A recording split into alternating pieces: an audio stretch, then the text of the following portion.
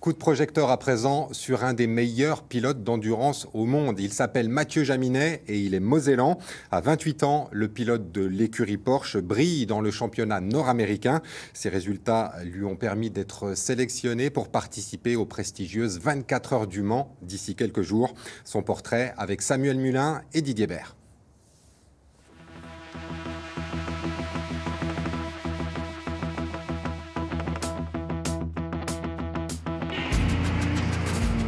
Des pointes à 340 km/h.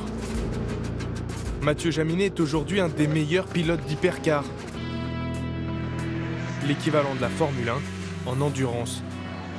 L'hypercar, c'est déjà euh, un type de voiture qui est un prototype. Euh, il y a différents constructeurs. Les voitures font tous euh, toutes à peu près le même poids, de 1030 kg, avec une puissance de 650 à 700 chevaux. Dans le monde de l'endurance, là, c'est un peu le sommet de la pyramide et la crème de la crème. Comme beaucoup d'autres pilotes, le Mosellan démarre par le karting à 10 ans et passe en voiture à 15.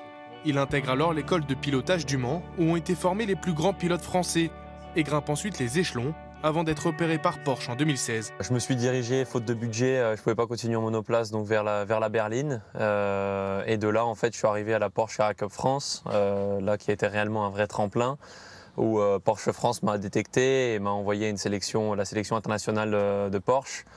avec tous les meilleurs pilotes de, chaque championnat. J'ai gagné cette sélection et je suis rentré dans le programme chez Porsche. En constante progression, le pilote de 28 ans va jusqu'à remporter le championnat GT l'année dernière, avec des voitures qui se rapprochent de celles du quotidien. Une victoire qui lui permet d'entrer en hypercar et de concourir dans le championnat nord-américain.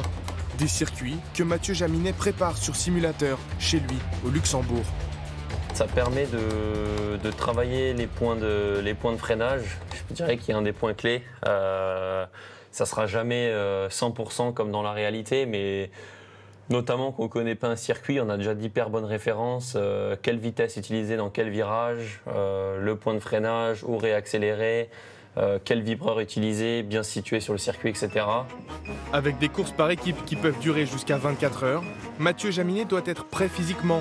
Il travaille des exercices spécifiques au sport automobile, réactivité, champ de vision et coordination.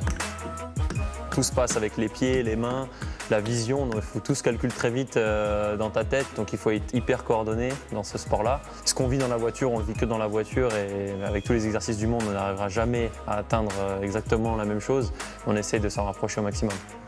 Le Mosellan vient même de remporter mi-avril son premier Grand Prix en hypercar, preuve d'une ascension qui n'est pas prête de s'arrêter. D'ailleurs, les 10 et 11 juin prochains, Mathieu Jaminet va prendre part à la course la plus mythique du monde, les 24 heures du Mans, c'est la deuxième fois qu'il y participe, mais la première dans la course reine.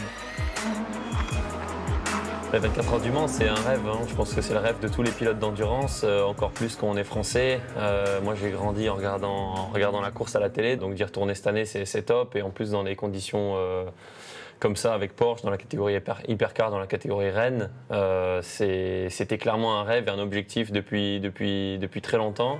S'il espère briller aux 24 heures du Mans, il rêve surtout de remporter le championnat nord-américain et de s'imposer comme l'un des meilleurs pilotes de la planète.